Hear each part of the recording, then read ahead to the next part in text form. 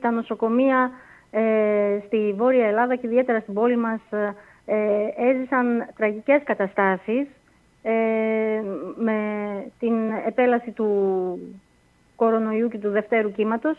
Συμπληρώνεται σχεδόν ένας χρόνος που ξεκίνησε η, πανδημία του COVID-19 και ακόμα τα νοσοκομεία μετράνε τα, πώς να πω, τις, τα σημάδια και τις πληγές από αυτή την κατάσταση. Αν και βλέπουμε ότι τα κρούσματα να ελαττώνονται, ε, Παρ' όλα αυτά τα νοσοκομεία δεν έχουν ορθοποδήσει, γιατί όπως όλοι ξέρετε ότι όλο το Εθνικό Σύστημα Υγείας μετατράπηκε σε Εθνικό Σύστημα για τον κορονοϊό αποκλειστικά, με συρρήκνωση όλων των άλλων ε, ειδικοτήτων και εργασιών που είχε.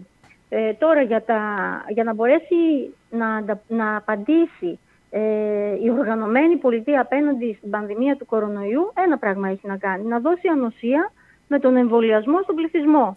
Αυτό όμως, εδώ υπάρχει μια πάρα πολύ μεγάλη κοροϊδία από την κυβέρνηση ε, και φαίνεται μόνο το ότι λέει και ξελέει.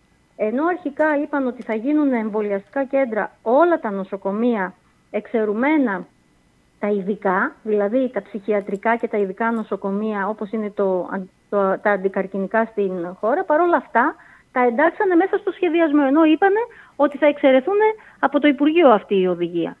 Αν θυμάμαι ε, καλά, το ίδιο είχε συμβεί και με, με το κύμα της πανδημίας, ειδικά το δεύτερο κύμα, την ώρα που δεν αναστέλει την λειτουργία του ένα καρκινικό νοσοκομείο, στην προκειμένη δηλαδή το νοσοκομείο το οποίο δουλεύετε, την ίδια ώρα ε, την ανέστηλε κατά μεγάλο βαθμό. Ναι, ναι, έτσι ακριβώς. Λένε και ξελένε ανάλογα με το πώς μπορούν να, να κλέψουν εντυπώσεις και να φανούν ότι είναι οι σωστοί και αυτοί που κάνουν σωστά ας πούμε τη διαχείριση της πανδημίας. Ε, να πούμε ότι το νοσοκομείο το αντικαρκυνικό από τη φύση του είναι ιδιαίτερο γιατί οι άρρωστοι που νοσηλεύονται είναι νοσοκατασταλμένοι. Και είναι κλειστό μέχρι και τη στιγμή τώρα που μιλάμε, κλειστό, θα βάλω σε εισαγωγικά το νοσοκομείο κλειστό, δηλαδή για να μπει ένας ασθενής που έχει ραντεβού ή για να μπει ένας ασθενής δικός μας καρκινοπαθής που έχει προγραμματισμένο ραντεβού για επανεξέταση ή για εισαγωγή θα πρέπει να ελεγχθεί από την πύλη, θα πρέπει να έχει έλεγχο για τον κορονοϊό, θα πρέπει δηλαδή να πληρεί κάποιες προποθέσει για να μπορέσει να μπει. Είναι κλειστό δηλαδή το νοσοκομείο. Και τη στιγμή που η διοίκηση επικαλείται αυτό το κλείσιμο του νοσοκομείου για να προφυλάξουμε τους ασθενείς μέσα, ανοίγει το νοσοκομείο για να εμβολιάσει ιδιώτες γιατρούς και τους υπερήλικες ε, πολίτες που θέλουν να εμβολιαστούν. Να πούμε ότι τα εμβολιαστικά κέντρα ε, θα πρέπει να είναι σε λειτουργία 12 ώρη και 7 ημέρη.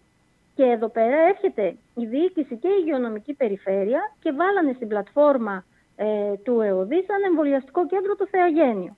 Το τραγικό είναι ότι ο χώρος ε, όπου γίνονται οι εμβολιασμοί, να πούμε ότι για την ιστορία, αρχικά οι γιατροί όλης της, παθολο, όλης της παθολογικής ειδικότητας, για να μπορέσουν να καλύψουν τον εμβολιασμό του προσωπικού του νοσοκομείου, εθελοντικά, υπερβάλλοντας τον εαυτό και υπερβάλλοντας και υπερτερώντας ας πούμε και την ε, ε, καταπώνηση τη σωματική τη δική τους δηλώσαν εθελοντές για να μπορέσουν να εμβολιάσουν οι παθολόγοι όλο, το προσωπικό. Ε, αυτό το εκμεταλλεύτηκε η διοίκηση και τους φόρτωσε περίτεχνα και τον εμβολιασμό των ε, ιδιωτών γιατρών και των υπερηλίκων. Με αποτέλεσμα να δούμε το νοσοκομείο να παραμένει σαν εμβολιαστικό κέντρο.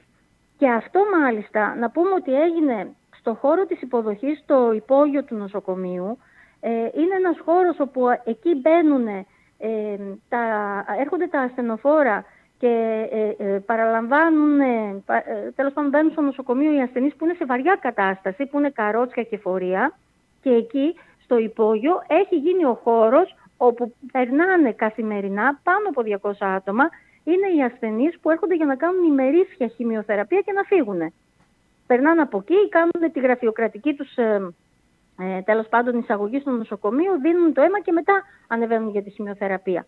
Σε εκείνο το χώρο του υπογείου ορίσανε κάτω στην υποδοχή ότι είναι ο χώρος ο οποίος θα είναι το εμβολιαστικό κέντρο. Χωρίς βέβαια να υπάρχει ούτε η κατάλληλη υποδομή για να υπάρχουν ε, και κρεβάτια αν θα προκύψουν προβλήματα, γιατί μην ξεχνάμε ότι οι περίλικες είναι, και, ε, είναι συνήθως χρόνιοι πάσχοντες ασθενείς, είναι άνθρωποι που είναι επιβαρημένοι η υγεία τους και αν μη τι άλλο θα πρέπει να απευθυνθούν σε ένα οργανωμένο εμβολιαστικό κέντρο.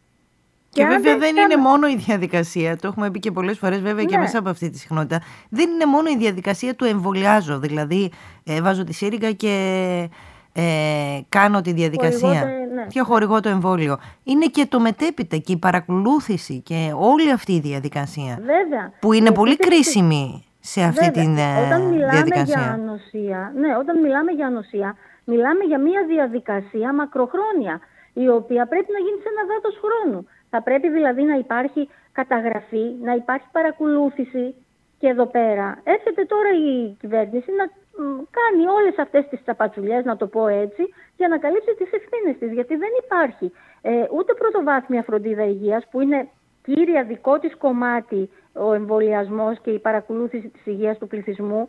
Ε, η πρωτοβάθμια φροντίδα είναι αποδεκατισμένη και αυτό δεν έγινε τώρα, δεν έγινε ξαφνικά. Είναι ε, ευθύνες και πολιτικές χρόνων. Και ακριβώς γιατί και η σημερινή κυβέρνηση αλλά και οι προηγούμενες αντιμετωπίζουν την υγεία σαν κόστος. Αποαξιώσανε την πρωτοβάθμια, τα παλιά αν θυμάστε, τα κέντρα υγείας, τα, τα υποστελεχώσανε, τα υποχρηματοδοτήσανε, τα απαξιώσανε και στη συνείδηση του κόσμου με αποτέλεσμα σε κάθε γειτονιά να υπάρχει και ένα ιδιωτικό διαγνωστικό. Πόσοι άνθρωποι απευθύνονται στις, στις δημόσιες δομές για πρόληψη και για πρωτοβάθμια; Πάρα πολύ λίγοι. Ο περισσότερος κόσμος βάζει το χέρι στην τσέπη και πηγαίνει στα ιδιωτικά. Είναι συνειδητή επιλογή αυτή. Πολιτική επιλογή. Και τα τελευταία χρόνια ένα παραπάνω. Από τη ναι. στιγμή δηλαδή που τα νοσοκομεία αποδεκατίστηκαν σε προσωπικό και υποδομές ε, και να ήθελε να κάνει ένα, ένα προγραμματισμένο ραντεβού έπρεπε να περιμένει δύο και τρεις και τέσσερις μήνες, μην τα ξεχνάμε και έξι μήνες και όλα αυτά προ πανδημίας, όχι τώρα με την πανδημία. Ναι, έτσι ακριβώς. Έτσι ακριβώς. Και αυτό γίνεται και για να καλύψουν τα κενά όλα αυτά φορτώσανε τα εμβόλια στα... Ε, βαφτίσανε τα νοσοκομεία εμβολιαστικά κέντρα με όλα αυτά τα τραγελαφικά μέσα στους, ε, στα ειδικά νοσοκομεία να ανοίγουμε την πόρτα και να λέμε περάστε να εμβολιαστείτε πληθυσμό με ό,τι αυτό συνεπάγεται για το πόσο πολύ εύκολα μπορεί να γίνει διασπορά και να πούμε ότι το Θεαγένιο είναι ένα κατάλληλο κτίριο ένα κάθετο, με μια αρχιτεκτονική κάθετη 10 ορόφων, με δύο ασανσέρ που ανεβοκατεβαίνουν, ε, που δεν μπορείς να απομονώσεις τμήματα και γι' αυτό και στην, ε, στο προηγούμενο ε, κύμα της πανδημίας νοσήσανε και τόσοι συνάδελφοι, κλείσανε και κλινικές, ανασταλήκαν και, ανασταλθήκαν και χειρουργία, γιατί ακριβώς ε, ήταν, αφοράκιστο απέναντι σε όλο αυτό. Mm-hmm. Και χωρίς ουσιαστικά να υπάρχει και κάποιο σχέδιο για να αντιμετωπιστεί και το τρίτο κύμα. Έτσι και μην ξεχνάμε ότι είμαστε μπροστά είναι και το τρίτο κύμα. Και οι ειδικοί λένε ότι είναι δεδομένο. Δεν πιθανολογούμε. Ναι. Ο κόσμος το αμφισβητεί γιατί ε, ίσως δεν θέλει και να το πιστέψει. Αλλά όταν οι υγειονομικοί μιλούσαν και για το δεύτερο πάλι κάποιοι το αμφισβητούσαν. Αλλά ήρθε και το δεύτερο. Έχουμε πάνω από 5.000 νεκρούς στη χώρα μας. Ούτε στον πόλεμο δεν έχουμε τόσους νεκρούς.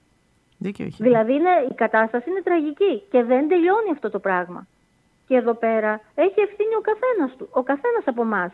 Και πολύ περισσότερο και τα συνδικαλιστικά όργανα και οι, ε, και ε, οι υγειονομικοί στο κομμάτι που τους αναλογεί βάζουν πλάτη, πώς να το πω, με το φιλότιμό τους είναι όρθιο το δημόσιο σύστημα. Γιατί και μέσα σε αυτό το διάστημα είδαμε ότι η, η κυβέρνηση απλόχερα έδινε ε, χρήματα και στους κλινικάρχες ε, και στα διαγνωστικά. Δηλαδή, Εδώ νομίζω στη Θεσσαλονίκη το ζήσαμε για τα καλά αυτό.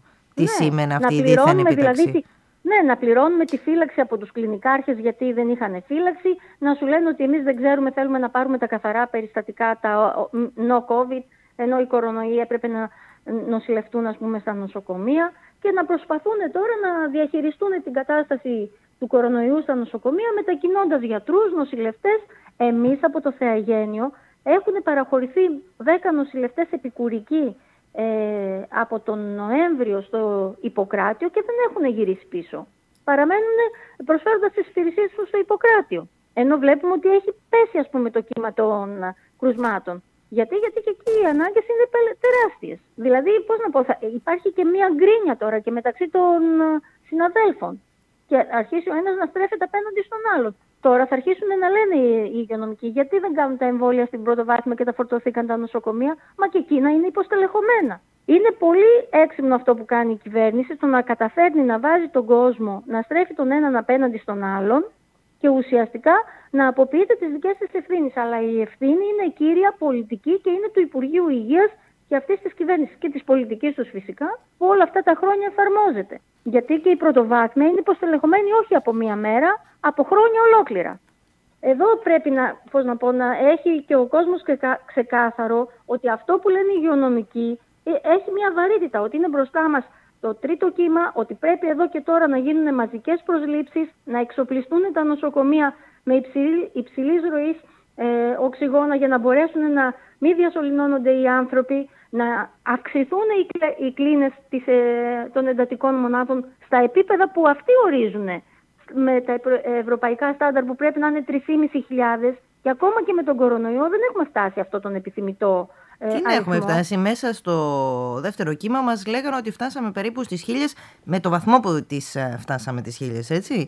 Γιατί χίλιες ναι. θεωρούνταν και μια, ένα δωμάτιο με ένα monitor και έναν ε, αναπνευστήρα. Τα ξέρετε καλύτερα όλα αυτά. Πώς κλείσανε ναι. κλινικές και μετατράπηκαν σε μονάδες εντατικής θεραπείας. Και τι θα σήμαινε παραδείγματος χάρη για τη Θεσσαλονίκη. Το έχετε θέσει βέβαια και εσείς. Αν άνοιγαν το Παναγία και το Λιμωδόν. Μόνο αυτά τα δύο πόσες κλίνες θα προσθέτανε γύρω στις 300-400 κλίνες θα προσθέτανε. Βέβαια. Μα, το, 10, το 12 που κλείσανε τα νοσοκομεία στην πόλη μας, χάθηκανε 500 κρεβάτια από τα δημόσια νοσοκομεία. Με το λιμωδόν, το δερματολογικό και ε, την Παναγία, 500 κρεβάτια χαθήκαν. Γιατί τότε είχαν αλλάξει και τα οργανογράμματα των νοσοκομείων και μειωθήκανε οι κλινικές, τα κρεβάτια των κλινικών των υπόλοιπων νοσοκομείων της, της πόλης. 500 κρεβάτια χαθήκαν. Αλλά αν τα ανοίγανε θα μπορούσαν να λειτουργήσουν παράλληλα γιατί να πούμε ότι η νοσηρότητα στις άλλες ασθένειες δεν έχει εξαφανιστεί. Τα εγκεφαλικά, τα καρδιαγγειακά, ακόμα και ο καρκίνος. Υπάρχουν μελέτες από το Ηνωμένο Βασίλειο και από την, ε, νομίζω από τις Ηνωμένες Πολιτείες που δείχνει μια επιβάρηση 8% στη θνητότητα των καρκινοπαθών. Γιατί σε αυτό το χρόνο της πανδημίας καθυστέρησαν να γίνουν οι, ο προληπτικός έλεγχος για τον καρκίνο, όπως και καθυστερήσαν να γίνουν χημειοθεραπείες και χειρουργία. Και αυτό έχει μια επιβάρηση 8% στη θνητότητα των καρκινοπαθών. Δηλαδή είναι στοιχεία που, αν μη τι άλλο, πώς να πω, ντρεπόμαστε να λέμε ότι είμαστε άνθρωποι και προσφέρουμε και νοιαζόμαστε για τον συνάνθρωπό μας. Mm-hmm. Όσες φιλότιμες προσπάθειες και να καταθέτουν οι εργαζόμενοι στον χώρο της υγείας, όταν δεν υπάρχει πολιτική βούληση για να κάνει την υγεία να την αντιμετωπίσει σαν αγαθό και να την βλέπει απλά και μόνο σαν εμπόρευμα με κόστος όφελος, θα, δυστυχώς θα θρυνούμε ανθρώπους. Και εδώ πρέπει να πούμε ότι οι υγειονομικοί αναδεικνύουν αυτό το πράγμα και την ανάγκη να γίνουν τώρα, έστω και την τελευταία στιγμή, αυτή τη στιγμή που μιλάμε, να είναι μια ευκαιρία, μια αφορμή η πανδημία του κορονοϊού για να στελεχωθεί το δημόσιο σύστημα υγείας. Και σε αυτή, σε αυτή τη λογική υπάρχει και η διαμαρτυρία της ε, αυριανής μέρας που είναι 10 η ώρα στην υγειονομική περιφέρεια. Δηλαδή θα γίνει παράσταση εκεί από, τους, από τα σωματεία των υγειονομικών στην υγειονομική περιφέρεια για, ακριβώς για να μπορέσουμε να πιέσουμε ε, στην περιφέρεια για να πιέσουν και αυτοί στο Υπουργείο για να σκύψουν από πάνω και να στηρίξουν το εθνικό σύστημα. Λοιπόν, να μείνουμε σε αυτά. Θυμίζουμε και το αυριανό σας αγωνιστικό ραντεβού, όπως μας το περιγράψατε, στις υγειονομικές περιφέρειες, στην Αριστοτέλους δίνουν το στίγμα υγειονομική και το δρόμο του αγώνα σε όλους μας. Ναι. Να είστε καλά, καλή δύναμη, καλό κουράγιο. Θα τα ξαναπούμε. Ευχαριστώ πολύ. Καλή δύναμη και σε εσάς. Γεια σας. Γεια σας.